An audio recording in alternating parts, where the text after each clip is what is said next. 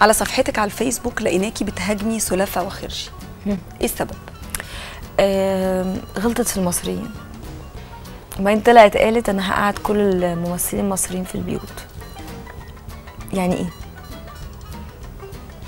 ما فهمتهاش. اولا انتي ممثلة سورية.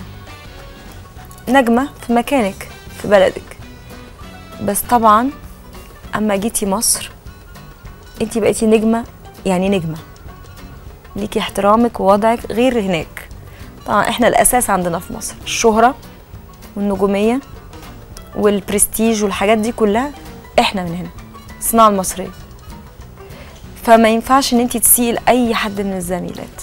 هي ما حددتش حد ولكن انت عممتي الكل. يعني بما فيهم انت واخدة كل نجوم الصف الأول فما ينفعش مش من حقها.